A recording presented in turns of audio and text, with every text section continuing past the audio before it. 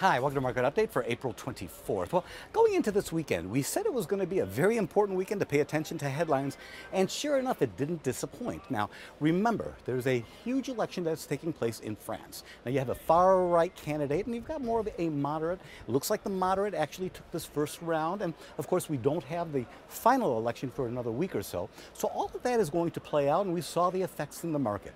A hard rally in stocks, but if you notice, we saw a break of about 1% in the dollar against other major currencies, and we saw about a 1% rally in stocks. So all of this is really playing out the way you would think it would play out, more on a balanced type of situation. Now going forward, what we want to pay attention to are two things. One, the end of the month. Remember, T plus three tomorrow. The other thing is pay attention to some of these Fed speakers.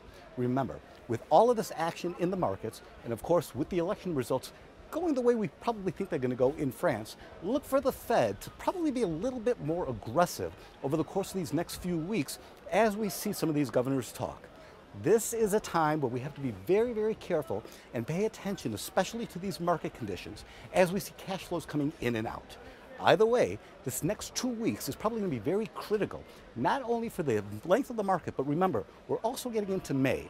You sell in May and walk away is one of these old adages in the marketplace. Let's see if this is one of those Mays where that happens. This is Jack Bouroudjian from the CME Group in Chicago.